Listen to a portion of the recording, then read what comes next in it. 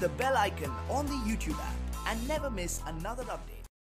Alright, I've already opened the animation project from the Lesson 4 folder, and what we've got here is a couple more of those number controls that we saw earlier, as well as a sphere. We're going to work on creating animations to move the sphere around the screen. When you're creating elements on your artboard, the design workspace is usually the best place to work. But as soon as you want to get into animation, you need the Objects and Timeline Inspector to be wider so you can see more of the timeline. I'm going to go up to the Window menu and choose the Animation workspace. You could also switch to this by pressing F7. Sometimes changing the workspace doesn't always move your artboard to the most opportune location. You can simply double click on the Pan tool or use the Pan tool to move the artboard to some place where it's more accessible. Now, if you've noticed, my Interactions palette has moved to the bottom, and the Objects and Timelines inspector has gotten significantly wider. I'm going to create a timeline now so we can start working. A timeline is a Windows Presentation Foundation concept that incorporates times with properties. When I click on the plus key here, Blend is going to ask me for a name for this timeline. This one is going to be Simple Move. Now the timeline and a few other things have changed in my application, so let's take a look at what's happened. At the top of my screen, I've got an indicator that timeline recording is on. Similar to when we started editing triggers, this is telling me that any modifications I make are not actually applied to the elements, but are applied to the element at the given time in the given timeline. The actual timeline display is now shown, including the playhead, which is the yellow line indicating at what time the changes we're making are, as well as the play pause controls up above. These buttons allow you to move forward one frame at a time, or jump to the beginning or end of your animation. At the moment, since I don't have any animation, jumping to the last frame won't do anything. There's also a text box here that if I want to move to a specific time, I can just type that time in, press return, and it'll move. In this case, I've jumped out to a minute and 30 seconds, but for starters, I just want to start at the beginning. If I needed to, I could press the X button here to remove the timeline, but right now I'm happy with what I've got. When you're working with multiple timelines, you can press the drop down here to show all of the timelines, or select Default to leave timeline editing mode. I'm going to switch back into the simple move, and let's go ahead and start creating an animation. A keyframe is a marker on the timeline that shows you where a set of properties are established. For instance, if I move my playhead up to 2 seconds and move my sphere, a keyframe is going to get added for me. The large white bubble indicates at time 2 for the sphere, one or more properties are changing. I can click on the drop down to the left of the sphere to expand to see that I've added a render transform on the sphere.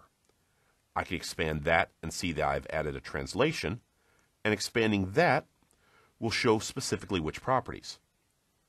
The timeline responds to the mouse wheel, so I can move up or down in the timeline with the wheel to see which properties are being changed. Here you can see that now the X and Y properties have been changed, so they will have a new value two seconds after the animation begins. So if I press play, you'll see that the ball moves over that time frame. In some cases, we'll set the playhead to time zero and press this button, which records a keyframe.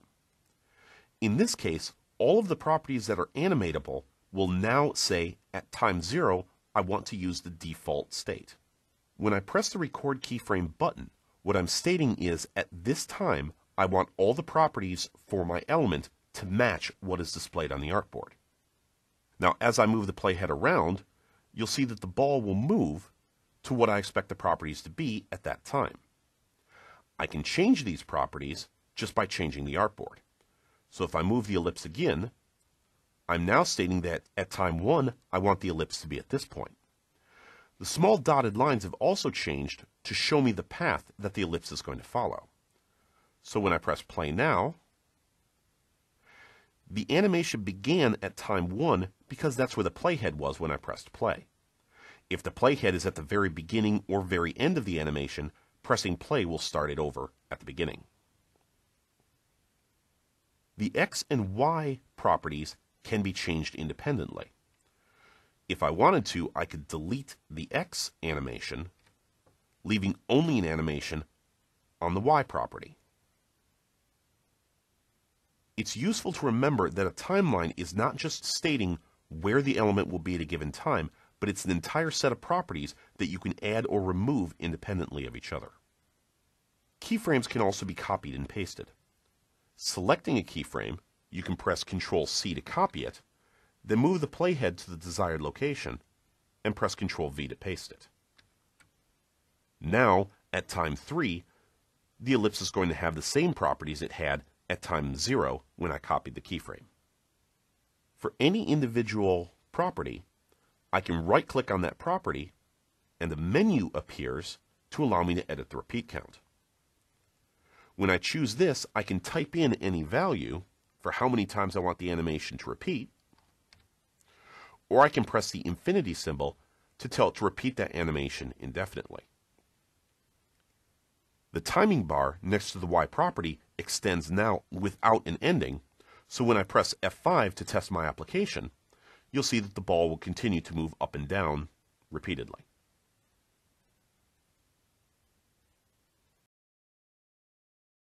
The animations that we've created up to this point are all non-interactive animations. That means they're just going to start when the window is loaded and continue on.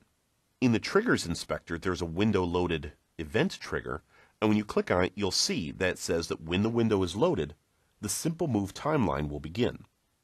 I'm going to actually delete the Simple Move timeline, and we're going to create some new timelines.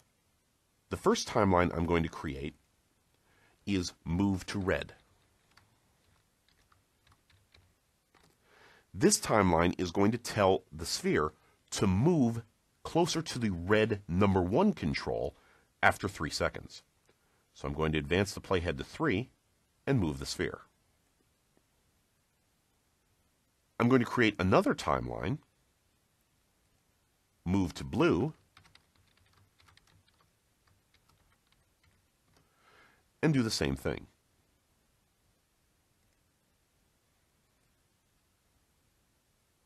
Finally, one more, moving to green.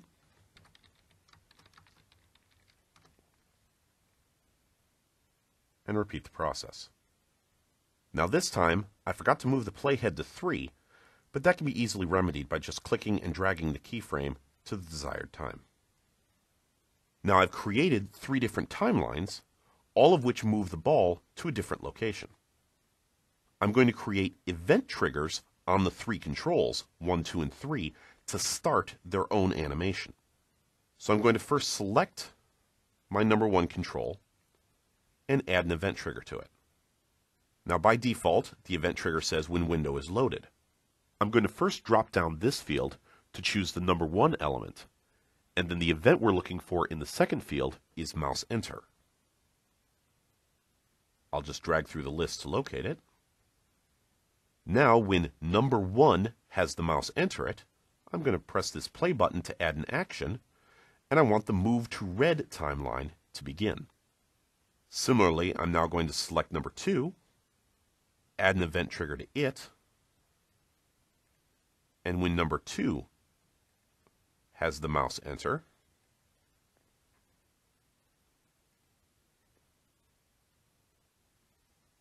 I want the move to blue timeline to begin. The same behavior with event 3. You'll notice when I drop down the box this time, it only displayed window and number 2.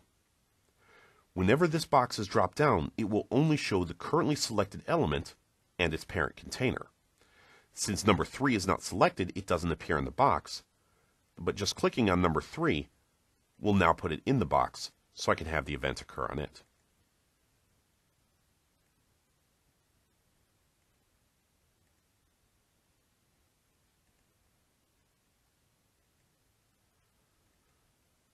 Now let's take a look at what happens when I run the application. The ball started moving directly to the green. I'll show you why that happened in a moment. Now when I move to the blue button, the ball moves over to the blue position. When I move over to red, it does the same. If I happen to move somewhere, say to the green, and then move to the blue before it's completed, you'll see that the ball changes its direction and moves. Let me explain why that happened. This type of animation is called a handoff animation. If we look in the timeline, we see that we've established keyframes at time 3, but no starting keyframes. This means that when this timeline plays, I don't care where the sphere is at the start of the animation, I just care that after 3 seconds, the sphere is at the specified location. So when the sphere was moving from the number 1 control to the number 3 control, the move to blue timeline caused it to stop wherever it was and immediately start moving towards the number 2. You also notice that when the window came up, the move to green animation started immediately. Let's take a look at why that happened. In the trigger inspector, in addition to all of our mouse enter events, there's a window loaded event. By default, when a window is loaded, it will start every timeline in your project. Since these three timelines all affect the same properties, only the final timeline actually has its effects displayed. So move to red begins, move to blue begins, and at the end, move to green begins. Since we don't want these, I can click the minus buttons to delete all three of those actions. So now when I press F5 to run the application, the ball is stationary until I cause one of the animations to start.